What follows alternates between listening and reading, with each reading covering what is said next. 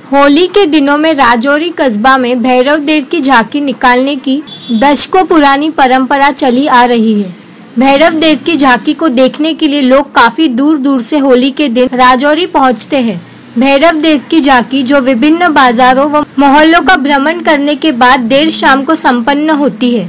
एक खास बात है कि भैरव देव की झांकी में एक व्यक्ति के शरीर पर काला रंग लेप कर उसकी कमर पर घुंघरू बांधे जाते हैं और सर पर लिट्टे लगाई जाती है।